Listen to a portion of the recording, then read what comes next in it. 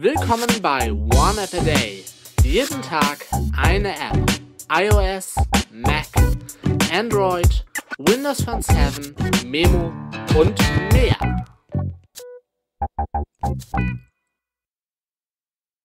Moin Moin, Servus, Grüße und Hallo und willkommen zur neuen One App a Day Folge mit einer Android-App, der App Impact Steps Fitness Charity. Ähm, aktuelle Versionsnummer 22.08.29.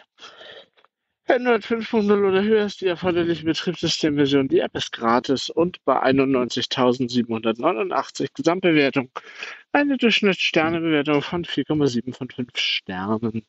Über die App Schritte verfolgen, spenden Sie Schritte an eine Wohltätigkeitsorganisation, gehen laufen für die Gesundheit, werde gesund, Gutes tun. So ist die Beschreibung. Das ist India's first fitness kindness app and your personal health companion. Die Idee ist, äh, ihr, ihr, ja, ihr macht halt Schritte oder joggt äh, etc. pp. Die App holt sich äh, Daten auf jeden Fall von Google Fit.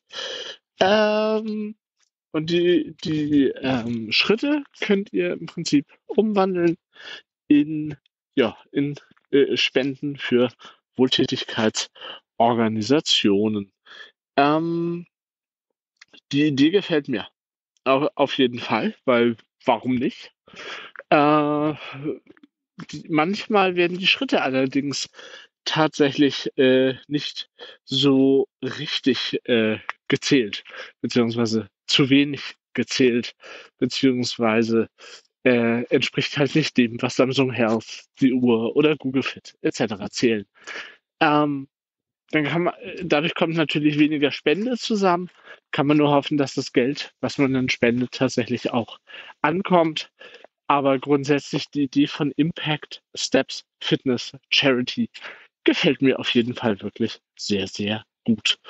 Ich sage vielen Dank fürs Zuhören. Tschüss, bis zum nächsten Mal. Und natürlich und selbstverständlich ciao und bye bye. Das war One App a Day. Fragen oder Feedback richtet ihr an info at oaad.de, facebook.com slash oneappatag, gplus.io slash oneappatag oder eine Ad-Menschen an twitter.com slash oneappatag.